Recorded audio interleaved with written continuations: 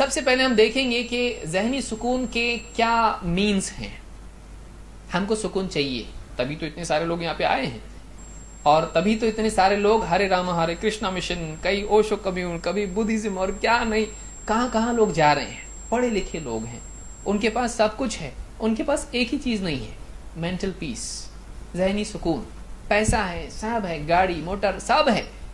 सब कुछ होने के बावजूद भी आज आदमी को सुकून नहीं है, कितनी बड़ी बात है। पुराने जमाने में लोग बोलते थे, हमारे पास कुछ नहीं है। हमारा एक खेत है और हमारे घर में बीस लोग हैं। कितने बच्चे हैं? ग्यारह बच्चे हैं। लेकिन वो लोग जी लेते थे। आज आदमी, हम दो, हमारा एक पे आ गए हैं। लेकिन इसके बावजूद ज़िंदगी जहन्नम बन चुकी है। ये करना है, वो करना है, वो करना है। आदमी ने अपने आप को तंग कर दिया है। बाहर वाले कम तंग करते हैं, आदमी खुद अपने आप को ज़्यादा तंग करता है। हमको ये देखना है, जहनी सुकून कहाँ से मिल सकता है? वो क्या ज़रिए हैं जिनसे आदमी को सुकून मिल सकता है? एक एक करके हम देखते हैं।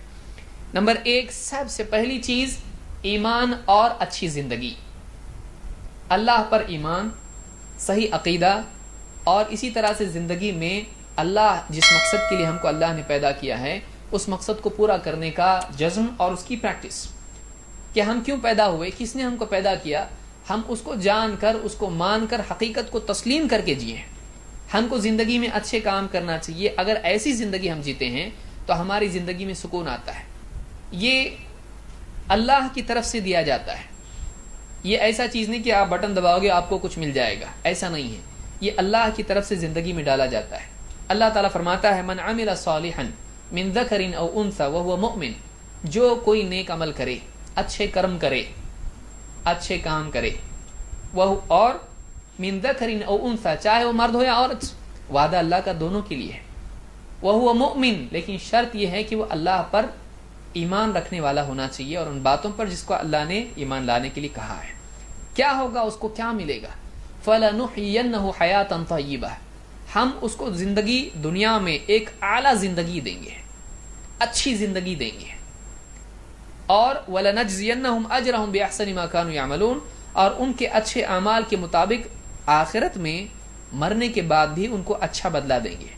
मरने के बाद का बदला बात की चीज़ है, लेकिन दुनिया में भी अल्लाह ने कहा, जो ईमान और अमल के साथ में बिलीफ फेथ और एक्शंस प्रैक्टिस इन दोनों का सबूत देगा, सही अकीदा, सही मानकर, सही करके जिएगा, ऐसा आदमी उसको क्या मिलेगा? अच्छी ज़िंदगी मिलेगी। अच्छी ज़िंदगी का मतलब क्या है? ऊपर से डॉलर अमेरिकन बरसना शुरू होंगे? नहीं। अच्छी ज़िंदगी का मतलब यह है कि सब कुछ भी फेल हो गया, वो फेल नहीं होगा। अक्सर औकात क्या होता है? आदमी अंदर से फेल होता है। तो सारी परेशानियों में भी वो जी सकता है।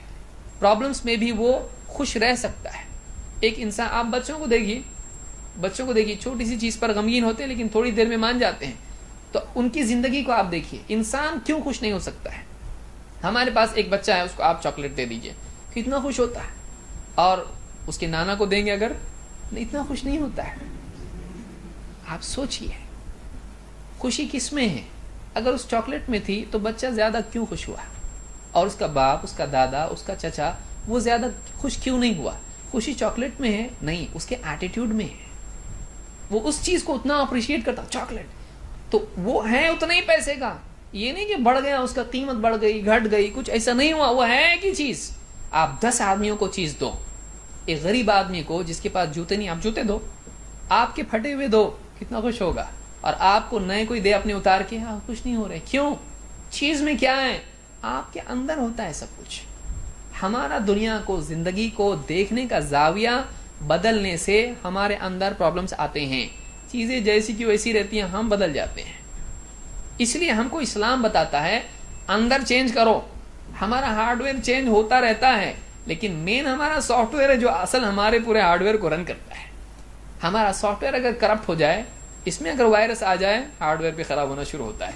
यही वजह है कि डॉक्टर्स कहते हैं, जब आदमी की जहनीत खराब होती है स्ट्रेस के नतीजे में और इसी तरह के प्रॉब्लम्स के नतीजे में, उसके जिसम पे भी असरात पड़ते हैं। कमज़ोर हो जाता है, बीमार हो जाता है, कई बीमारियाँ लग जाती हैं अल्सर्स हो जाता है, ये होता है, कितने प्रॉब्लम्स होते हैं। तो ईमान और अमल सबसे पहली चीज़ है जो आदमी की ज़िंदगी में आना चाहिए।